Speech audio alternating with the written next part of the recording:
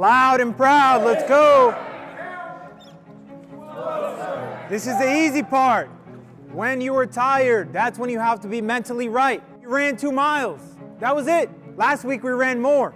The Pre-Academy Training Program is a program that LLEGO Boston developed to help prepare individuals who are either going through the process of getting into a police academy or who have an interest in law enforcement and want to know a little bit more about uh, what it takes. It's about really us challenging folks. We take folks out of their comfort zone and then they start learning that they've imposed limits on themselves and now we push them beyond those limits to where now they're realizing, wait a second, I'm better than that. I can accomplish more. This is where you get better.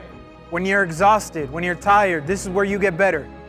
Your mind will give up before your body does. Your mind will give up before your body does. You have to look within yourself to figure out whether or not you really want this. Do y'all understand? Push through this, work harder. You're getting every single week closer and closer to the goal that you want to accomplish. Right? This is your goal, not our goal. You guys established that you all want to be police officers. We're just giving you a small taste of what that is. You can see the physical growth and you can see the mental growth. You could tell just by someone talking to you after the class, hey, thank you so much. That you can tell they appreciate it. Some of them have physically lost weight. I wish this was a program that existed when I wasn't a police officer, because I definitely would have joined it. We've now had individuals enter police academies and successfully graduate. They come in fresh, new, no idea what's going on. They complete our program. We continue to mentor them. We continue the relationships. And they come back and they want to volunteer and they want to give back. And then now those individuals are now mentors for the new individuals that are going through the process.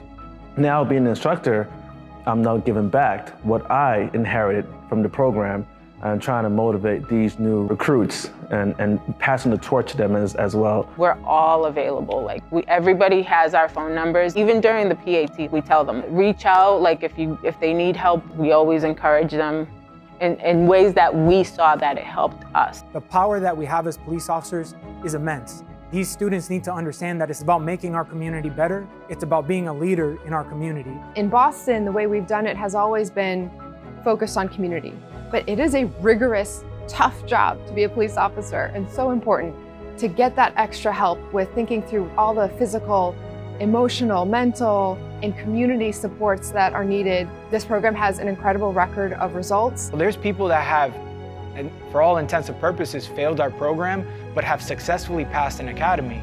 And part of that reason is, is just because someone either fails an academy or fails our program, that doesn't mean that we let them go. We want to help people grow. We want to see people be successful. We want people to be the change. You get so sick of hearing people telling you to wait, but then there comes a point where you're just like, you know what, it's time to be the change. And I think for us, we reached that point. And if we can continue with that mentality, then ultimately the only people who benefit is our community.